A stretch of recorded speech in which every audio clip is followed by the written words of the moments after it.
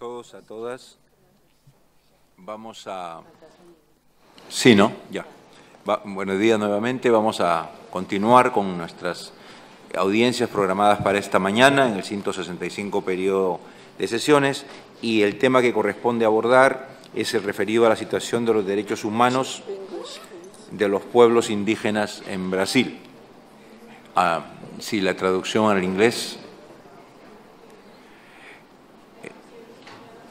Eh, em, ¿Cuál canal? What channel? Which channel? What canal? Hay que mover varios. You need to try-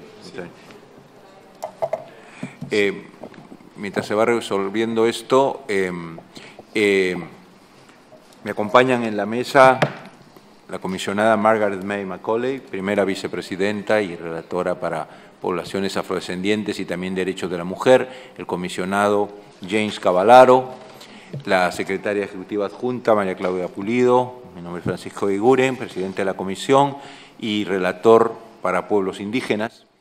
Eh, el desarrollo de esta audiencia tendremos en primer lugar eh, para escuchar hasta por 20 minutos a las organizaciones peticionarias que agradeceré en su momento se vayan identificando y presentando, así como a la persona que hace uso de la palabra.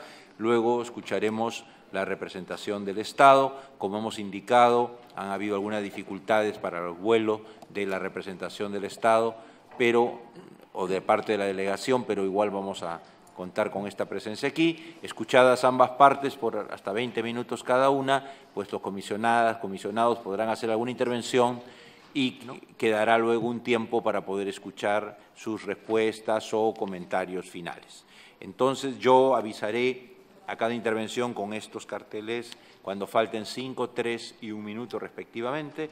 Agradeceré hacer el esfuerzo para ceñirnos al tiempo para que pueda haber un mayor diálogo y sin más preámbulos entonces les doy la palabra a las organizaciones peticionarias para que inicien su exposición. Adelante, por favor. Excelentíssimos senhores membros da Comissão Interamericana de Direitos Humanos, da Delegação do Estado Brasileiro e senhoras senhores presentes. Sou Carlos Eduardo Barbosa Paz, atualmente ocupante do cargo de Defensor Público Geral Federal no Brasil. A Defensoria Pública da União é instituição essencial à função judicial do Estado, incumbindo-lhe como expressão e instrumento do regime democrático a orientação jurídica, a promoção dos direitos humanos e a defesa dos direitos individuais e coletivos dos necessitados, podendo demandar em face do próprio Estado brasileiro, a exemplo do que ocorre neste caso.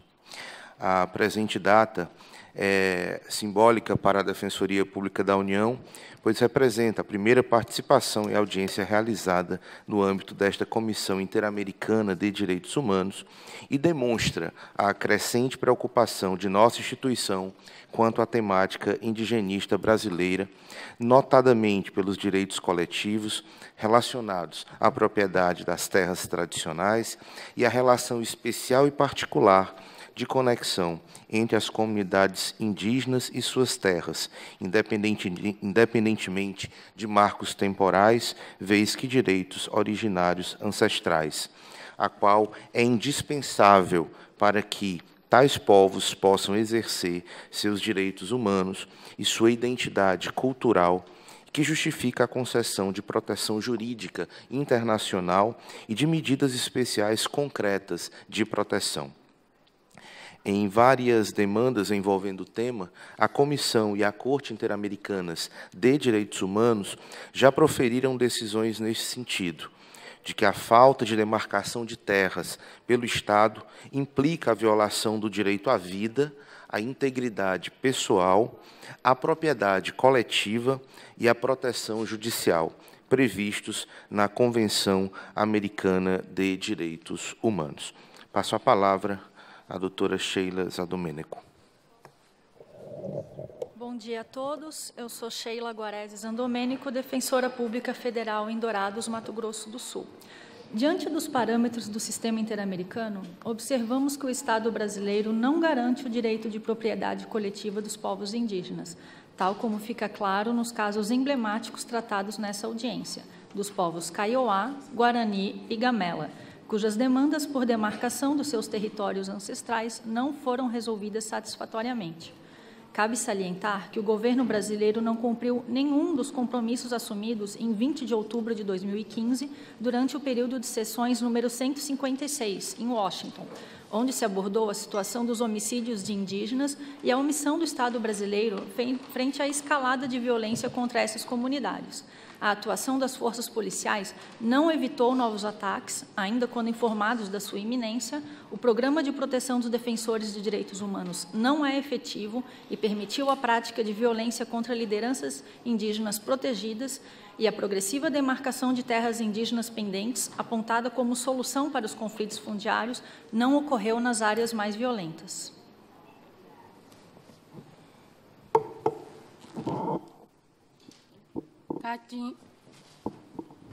Catinha, Croagamela. É, a FUNAI não. A FUNAI nega a. a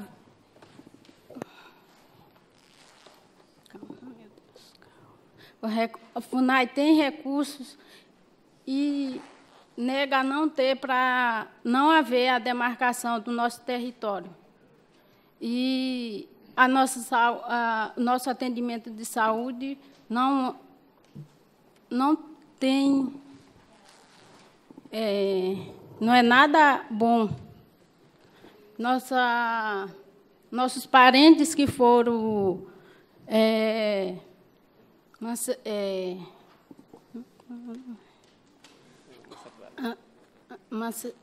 massacrado no dia 30 de abril que o 30 de abril não foi o primeiro e nem será o último massacre do nosso povo. Então, é, a nossa luta nunca foi fácil. Então, a polícia que a gente deveria ter a confiança, nós não temos. Porque a polícia poderia, é, pelo menos, é, socorrer os parentes, mas não fizeram nada. Então, para que possa ter o mínimo de atenção pelo nosso povo, que as autoridades nos ajudem, porque o ataque é bem vai ser acontecido de novo os tiros que está havendo, noite e dia, as nossas crianças nas escolas são ameaçadas.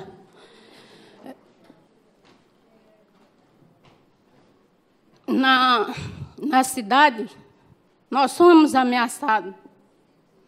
Então, nós não temos a segurança. Nossa gestante é uma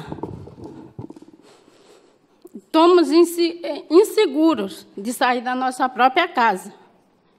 Então, que, que a nossa segurança nos ajude, porque nós, nós, nós estamos sem segurança. Então, a nossa luta não é de hoje.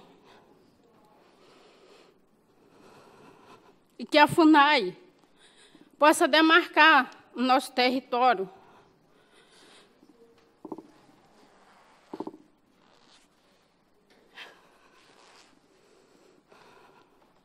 E que a lei seja cumprida, porque nossos ancestrais, nossos são de lá. Então, nós, nossa luta é justa.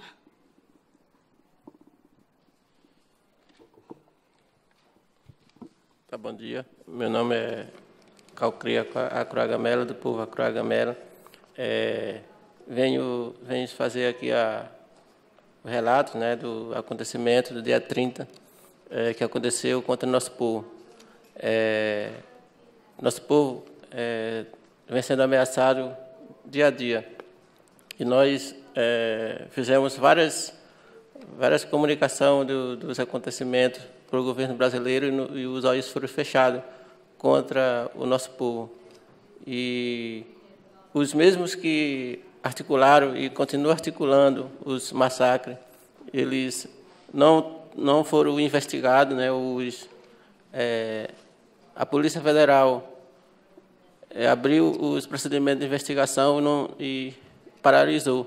Nós não temos nenhuma informação sobre o que está acontecendo. Então, por essa morosidade do Estado, a gente teme que, que seja, seja novos ataques, porque treinamentos de tiros está sendo realizado nos povoados vizinhos das nossas, das nossas aldeias. E mesmo a FUNAI, mesmo tendo recurso né, é, do Estado do Maranhão, é, não fez nada, não está fazendo nada né, para re, regularizar o nosso território. Então, por isso, a insegurança ela continua.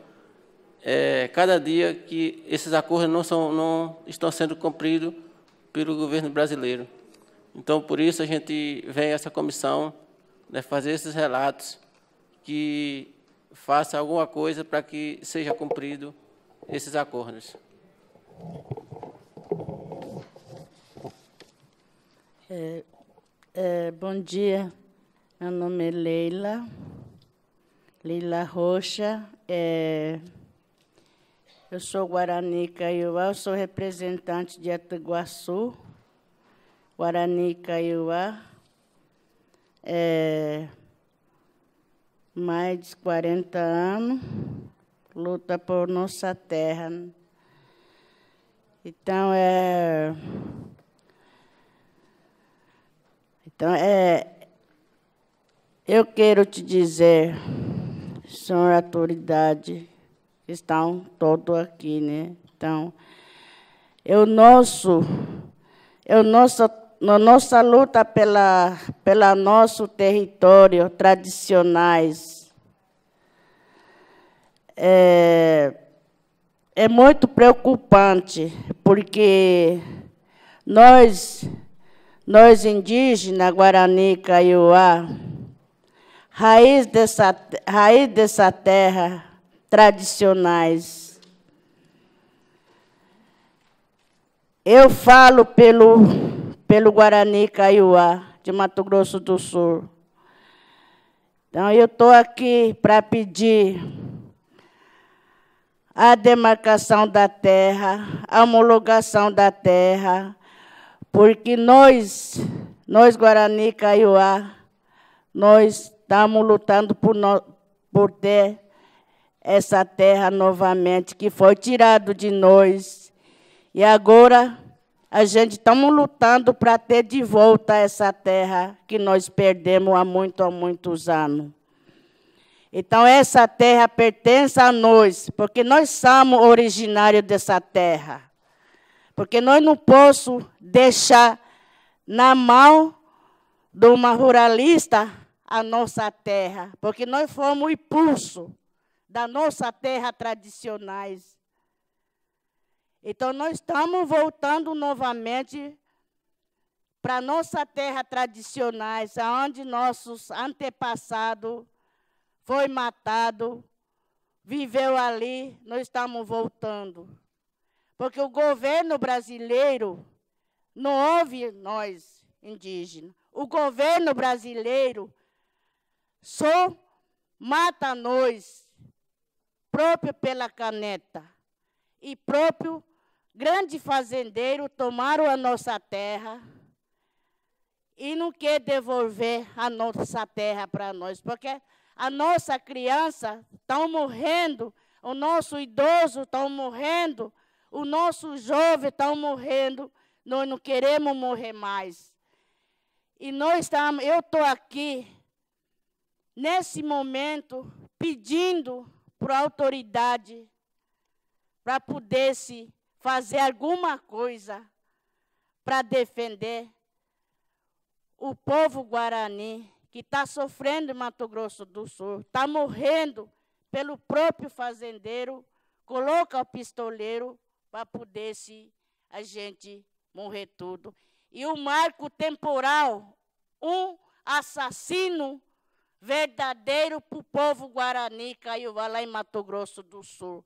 Porque marco temporal é um assassino das, das povos indígenas Guarani, Kaiowá, e nós já morremos bastante por causa desse marco temporal. Se alguma coisa não está resolvido aqui, nós mesmos vamos fazer autodemarcação da terra, nem, nem seja que nós derramamos mais o nosso sangue, sangue das crianças, a sangue do idoso, mas nós mesmos vamos fazer pela própria nossa mão a grande demarcação da terra.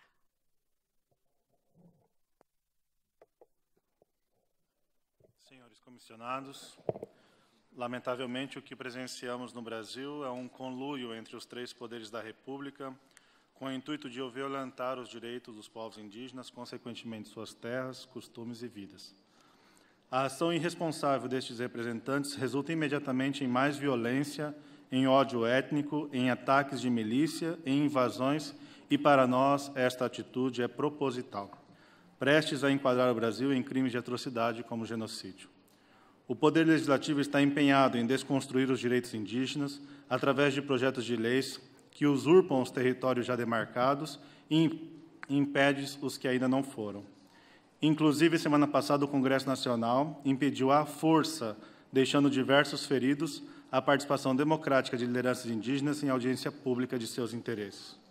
A morosidade do Poder Judiciário e as interpretações restritivas dos direitos originários dos povos indígenas acirram conflitos e resultam em mortes nas aldeias. Por outro lado, este é o poder que se tem obrigado a confirmar os direitos constitucionais historicamente conquistados por estes povos. Já o Poder Executivo, aquele que possui o dever constitucional de demarcar e proteger esta população, diante da fragilidade política e impopularidade do governo, sucateia o órgão indigenista oficial e negocia os direitos e a implementação de uma pseudo-política indigenista junto a setores anti-indígenas para se manter no poder. Denunciamos uma violência sistêmica contra os povos indígenas, com taxas de homicídios oficiais que podem chegar a 87,69 por 100 mil, como é o caso dos Guarani Kaiowá. Triplo em relação à média nacional e maior que a taxa de Honduras. Ocorreram um suicídio por semana nos últimos 17 anos, e os territórios reivindicados por essa população, medida estrutural que poderá solucionar esta gravidade, é de apenas 700 mil hectares, enquanto a pecuária, neste Estado brasileiro, ocupa 23 milhões de hectares. Por fim, para nós, o Brasil viola sua responsabilidade de proteger. Inclusive, queremos entregar aos comissionados um estudo eh, nesta perspectiva que enquadra o caso Guarani-Kaiowá como crime de atrocidade.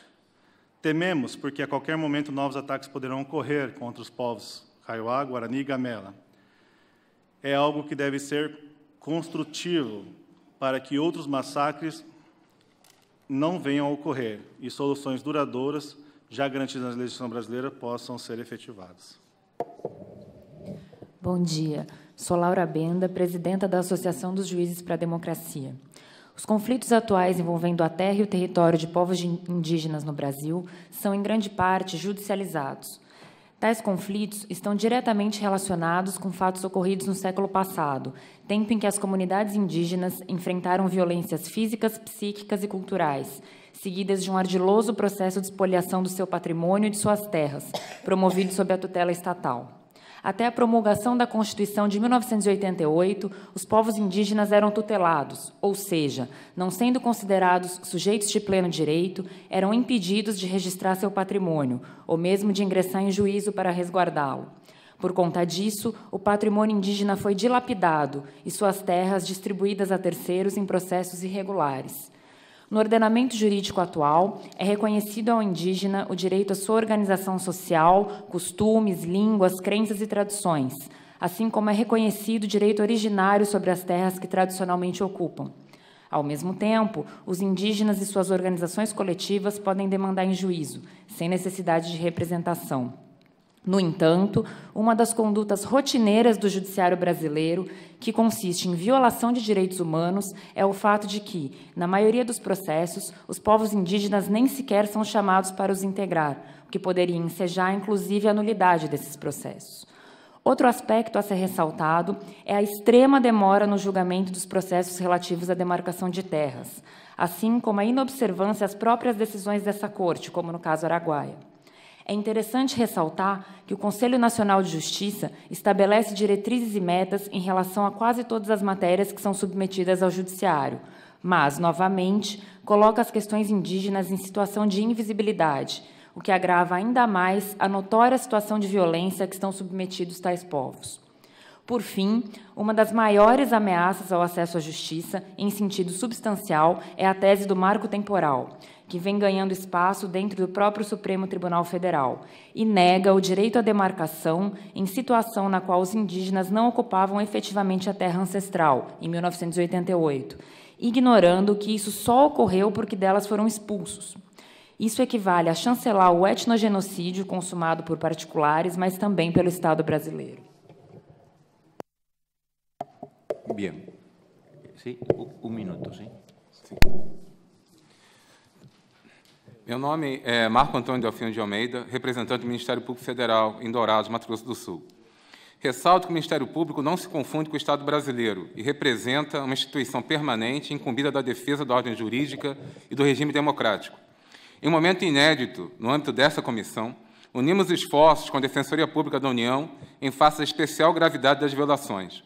A precarização de recursos humanos e materiais da FUNAI impede o avanço da demarcação dos territórios indígenas, especialmente no centro-sul do país, onde há um evidente cenário de tensão étnica, exposta em execuções extrajudiciais de lideranças indígenas e demonstrações cotidianas de racismo privado e institucional. Como exemplo, podemos citar o Estado de Mato Grosso do Sul, onde ocorre a denegação da prestação de serviços públicos às comunidades indígenas. A restrição orçamentária alcança igualmente a região norte, com a afetação das medidas de monitoramento de ameaças aos povos isolados e na possibilidade de repetição de novos genocídios, como o massacre de Hashimu, ocorrido em 93. Como complemento às violações, o governo federal editou o parecer jurídico número 001/2017, que paralisou os raros processos de identificação e delimitação de terras indígenas em curso, em face da possível adoção de sanções disciplinares aos servidores públicos. A combinação desses fatores denega por completo os compromissos assumidos pelo Brasil perante esta comissão. Esta afirmação é reforçada pela edição da Lei 13465, denominada MP da Grilagem, que estimula a ocupação de terras públicas sem o claro estabelecimento de salvaguardas ambientais e de proteção aos territórios dos povos indígenas, comunidades quilombolas e povos tradicionais. As populações vulneráveis economicamente são igualmente atingidas pela recente flexibilização pela Portaria 1129 do conceito de trabalho escravo. Por fim, temos um estímulo governamental à implantação nos territórios indígenas já regularizados de atividades econômicas com graves impactos socioambientais, como a mineração e o arrendamento agrícola, sem a devida observância das proteções previstas nas convenções internacionais. O quadro narrado acarreta o alarmante incremento dos conflitos no campo, como os presentes casos dos Gamela e Carapó e das mortes a eles associadas. Peço desculpas pelo tempo. Muchas gracias. Eh... Está con nosotros el señor Joao Guillermo Fernández de la Embajada del Brasil. Eh, no sé, eh, ¿usted va a hacer alguna intervenção? Bueno, é, eu falo em português. Queria é, agradecer a participação dos representantes da sociedade civil, reconhecer o trabalho é, de luta pela promoção dos direitos dos povos indígenas, dos defensores de direitos humanos que aqui estão, é, explicar que o voo da delegação é, foi cancelado ontem à noite, então foi primeira, primeiro foi postergado para madrugada e finalmente foi cancelado. Eles estão chegando hoje às 11h30 da manhã. Espero que seja possível participar das outras audiências. E também é, reconhecer é, que existem né, muitos desafios a serem superados. Eu sou de Dourados, no Mato Grosso do Sul, é, então, conheço a, as dificuldades da região e, e também queria dizer que vou repassar aos membros da delegação é, o documento que me foi entregue e qualquer outro pleito ou questionamento feito tanto pela sociedade civil como pela Comissão Interamericana. Obrigado. Bien, eh, vamos a iniciar las intervenciones de la comisión para luego poder escuchar las respuestas o comentarios de ustedes. En primer lugar, el comisionado James Cavallaro, el relator para Brasil. Muchas gracias, señor este, presidente. Ah, é, é uma infelicidade o fato da, da demora da, na, na chegada da delegação do Estado, do ilustre Estado brasileiro. Ah, eu vou estar no Brasil na semana do dia 13 de novembro, ah, junto com a comissária Esmeralda Arosemena de Troitinho. Ah, vamos estar visitando centros ah, de jovens, de, de, crianças e adolescentes, mas vou também manter algumas reuniões sobre temas como este tema e já que as perguntas que tenho para o Estado brasileiro, falei com o ilustre representante do Estado brasileiro, o digno uh, representante aqui presente, uh, e o senhor indicou que não tem condições de responder. Entendo perfeitamente a sua função aqui no Uruguai. Então, vou colocar algumas perguntas uh, e gostaria, durante a visita, poder tocar esses temas de forma mais uh, uh, deliberada uh, com as respectivas autoridades brasileiras. Então, comunico esse, esse interesse para agendar algum tipo de reunião, reunião ou encontro quando estiver ou estivermos em Brasília. Perfeito. Aí as perguntas que tinha têm a ver com, por uma parte, o processo de demarcação, que estamos falando da, da Constituição de 1988, ah, cumpre 30 anos o ano que vem e ainda tem povos indígenas e quilombolas que vamos ver na próxima sessão à espera da demarcação. Gostaria de saber qual a, a, a resposta do Estado brasileiro dentro da legalidade brasileira para efetuar a promessa constitucional e fazer valer o direito uh, desses povos, e também direito reconhecido pela Corte e a Comissão Interamericana, como foi uh, enfatizado aqui. Gostaria também uh, de, de, saber e receber informações sobre o orçamento da FUNAI, que é um órgão muito importante historicamente no Brasil e ainda hoje na proteção dos direitos dos povos indígenas. gostaria de saber qual a, a previsão para manter a equipe necessária para, para, para que a FUNAI cumpra a, a sua missão institucional. Também gostaria de saber dos diversos casos, casos citados uh, de violência sofrida pelos povos indígenas e o, o estado dos inquéritos e das investigações uh, para determinar as responsabilidades dos responsáveis pelos crimes contra os povos indígenas e também as medidas do Estado ah, para garantir ah, que esse tipo de crime não continue acontecendo ah, no Brasil como está acontecendo ultimamente. temos também algumas perguntas sobre os Guarani Kaiowá e a demarcação específica dos, das terras que, de, desses povos que gostaria de, de, fazer, mas já são várias perguntas e acho mais uh, sensato agendar algo no Brasil para tocar esses temas com a participação das autoridades uh, correspondentes, mas, evidentemente, se a parte peticionária aqui quiser responder, haverá o tempo que o senhor presidente achar pertinente. Muito obrigado. Gracias, James. Eh, yo solamente haré un comentario, una reflexión como relator para pueblos indígenas, pues eh, hemos venido dando seguimiento eh, en la comisión a esta temática con especial interés. en los últimos meses la comisión ha emitido diversos comunicados y pronunciamientos referidos a sucesos particulares respecto de determinados pueblos indígenas, algunos casos de eh, asesinatos o eh, invasión a sus tierras. Y recuerdo que un periodo de sesiones anterior, eh, creo que fue en la Argentina,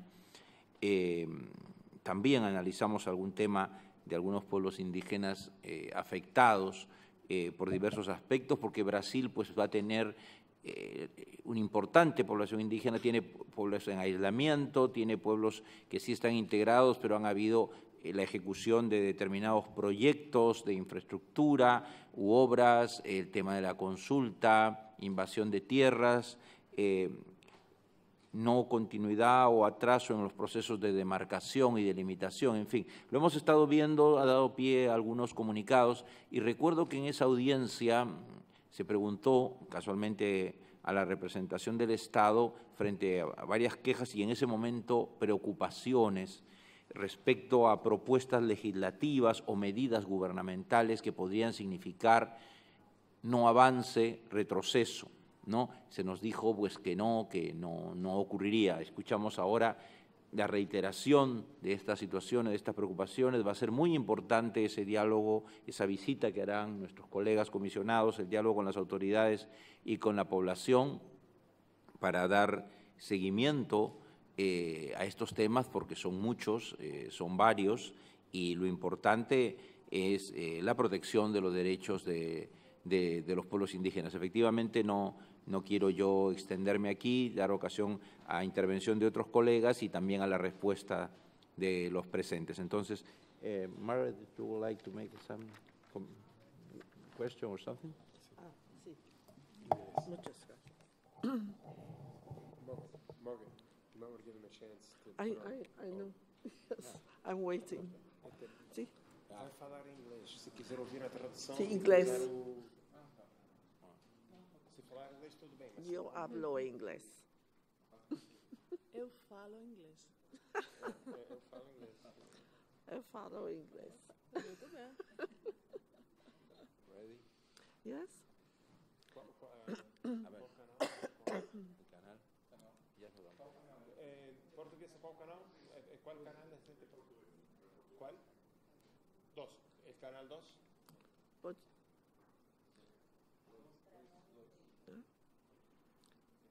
Yes. Hello. Um, I, I must thank you, both sides, for your presentation this morning. Um, the President and the, the country rapporteur have said a great deal, which, which I'm also interested in. But in my rapporteurships for women's rights, um, for the rights of Afro descendants, and for all to act against all forms of discrimination, because this has to do with discrimination. Um, I am particularly interested in this matter, and I do wish we had had the state here, but I understand the difficulty um, of their having missed their flight.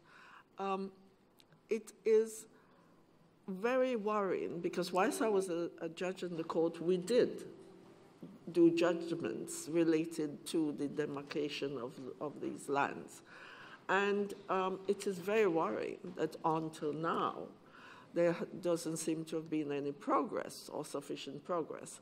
And that the, the actions of the peoples affected to ensure that their rights, which exists in the constitution itself of Brazil, and in legal um, international instruments which Brazil is a party to are not being implemented and in fact have been regressed from it seems like.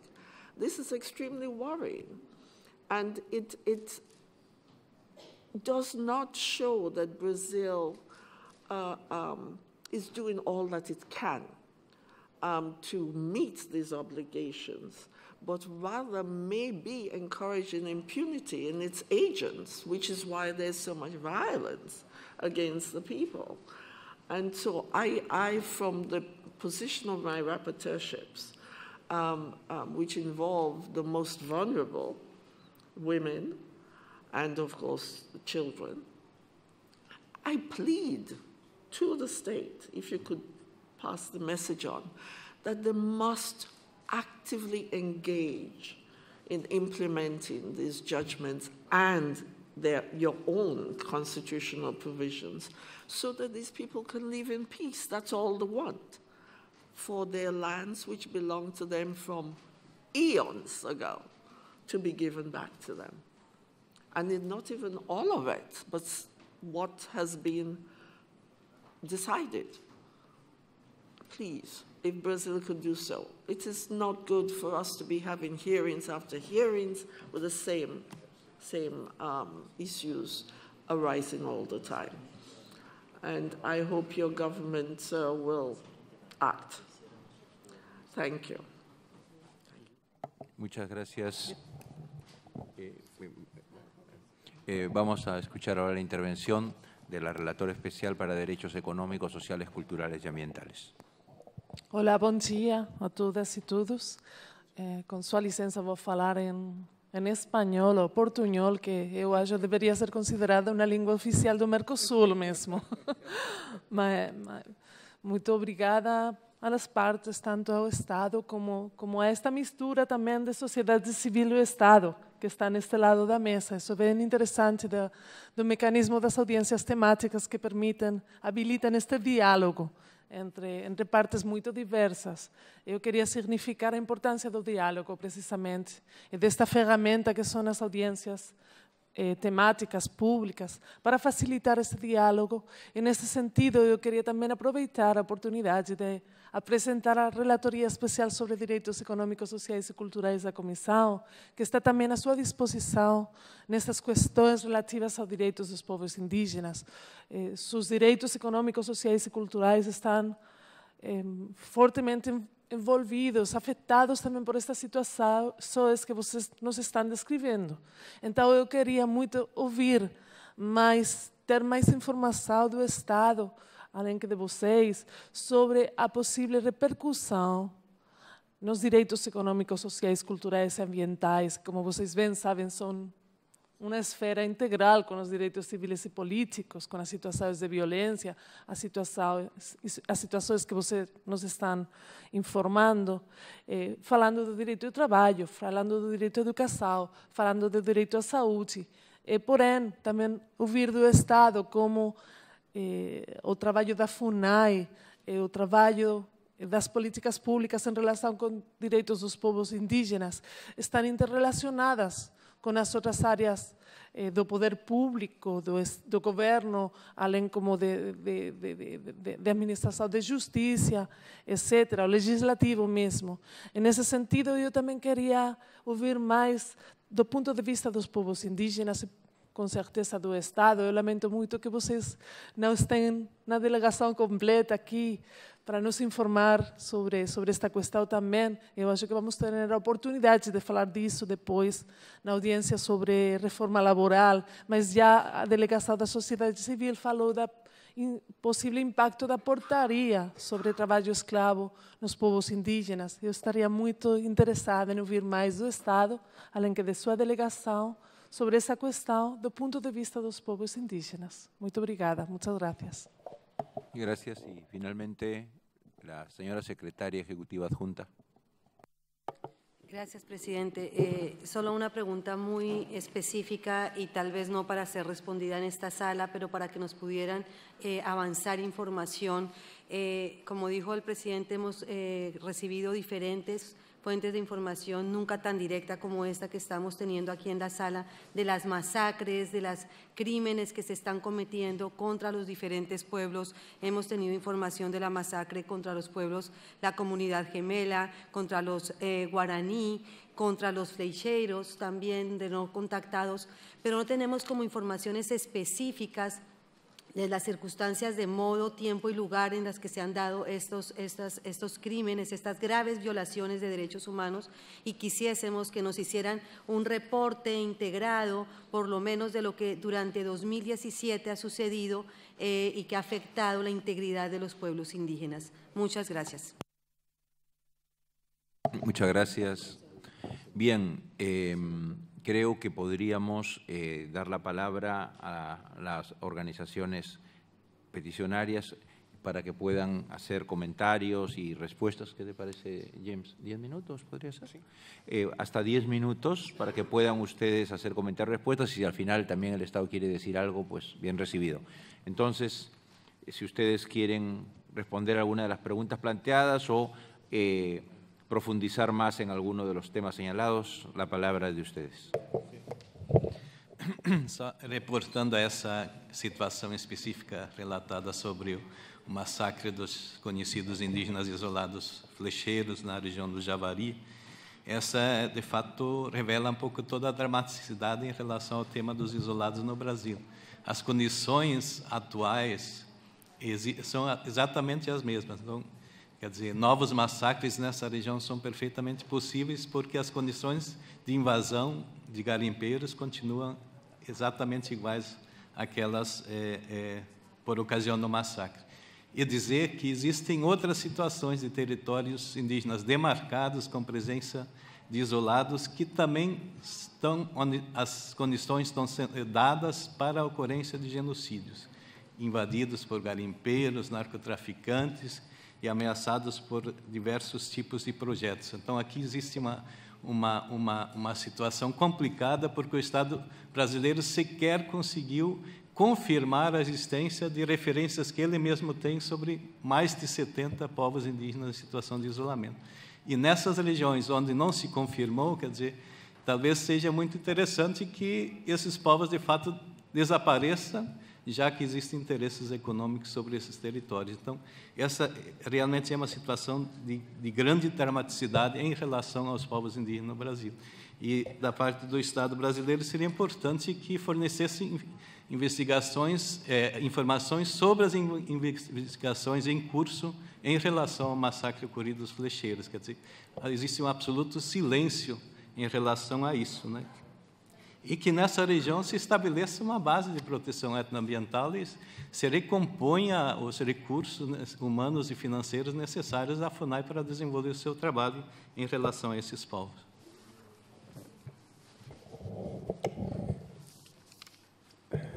É, em relação especificamente é, ao, ao trabalho escravo, nós tivemos, é, historicamente, um grande número de indígenas é, que foram é, é, retirados de condições análogas de escravo. Em Mato Grosso do Sul, especificamente, nós tivemos é, o trabalho da, de cana-de-açúcar, né, onde centenas de indígenas foram escravizados e que, nas atuais condições da portaria, é, não teriam, né, obviamente, sido considerados como, é, como condição análoga de escravo. Né? Recentemente, nós tivemos, ainda que menor número, a manutenção é, é, do, do, trabalho escravo, né, especialmente em relação aos povos indígenas, agora em outro contexto, o contexto é, da colheita da maçã, mas historicamente também as populações quilombolas, especialmente do Maranhão, elas são é, as maiores afetadas pelo trabalho escravo também na região amazônica. E, obviamente, que a flexibilização é, dessa portaria faz com que essas comunidades sejam duplamente é, vulnerabilizadas. Ah, em relação aos direitos sociais e também as perguntas da, da Secretaria, no, no, no, informe que a gente enviou, no resumo, ele traz dados mais apurados sobre essa situação, de modo especial na região de Dourados, onde está a maior comunidade Guarani Kaiowá, que é a reserva de Dourados, e ali se apresentam os dados relacionados aos direitos sociais e econômicos, e em relação aos ataques, a gente também apresenta um anexo com mais de 30 registros de ataques nos últimos é, dois anos em relação aos Guarani Kaiowá.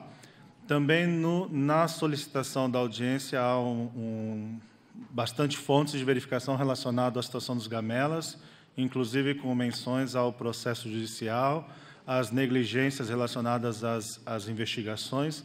Então, mas nós nos comprometemos também de uh, ampliar essas informações sobre esse tema. Nós entendemos que eh, esta audiência ela se dá num bojo de uma discussão já há mais de seis anos, né, com a comissão, é o terceiro momento em que temos a oportunidade de testemunhar a dor dos povos indígenas e, por isso, os peticionados têm uma proposta para a comissão eh, que será lida pela nossa, pela nossa representante indígena. Bom dia a todos. Sou Catiuyana, da Coordenação das Organizações Indígenas da Amazônia Brasileira, base da Articulação dos Povos Indígenas do Brasil. Considerando que o Brasil possui a maior diversidade de povos indígenas das Américas, resistente a um histórico contínuo do processo de extermínio, e que, por isso, sua política indigenista pode influenciar outros países, o que aumenta singularmente suas responsabilidades no tema. Considerando a omissão do Estado brasileiro por não demarcar todas as terras indígenas conforme ordena a sua Constituição, restante ainda 63% de terras indígenas reivindicadas no país, o que obriga mais da metade desta população a sobreviver fora dos seus territórios tradicionais. Considerando que o Brasil possui maior quantidade de povos indígenas isolados do planeta e a iminência de que novos extermínios possam ocorrer. Considerando que nos últimos anos houve um aumento real, desproporcional e premeditado dos diversos tipos de violência contra povos indígenas, generalizando a violência, sobretudo junto aos Guarani Kaiowá. As organizações signatárias nesta audiência atendendo ao, ao apelo dos povos indígenas no Brasil, solicitam esta honorável comissão. Considerando o mandato desta honorável comissão em, de forma autônoma, promover e fazer observar os direitos humanos nas Américas. A criação de um grupo interdisciplinar de especialistas independentes, pautado pela imparcialidade, legalidade, profissionalismo e capacidade técnica de seus membros, para acompanhar a gravidade da situação dos direitos humanos dos povos indígenas no Brasil, em especial no tocante à demarcação e proteção efetiva de suas terras. Aqui temos uma sugestão por escrito desta solicitação para ser entregue.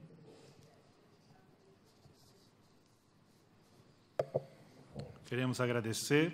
Esta proposta ela se enquadra numa experiência que a comissão já promoveu no México então, aqui tem uma proposta aprofundada com oito é, possibilidades dessa, desse grupo de trabalho que entendemos que se faz necessário neste momento no Brasil diante da iminência de novos massacres que poderiam ocorrer, principalmente contra povos isolados. Muito obrigado.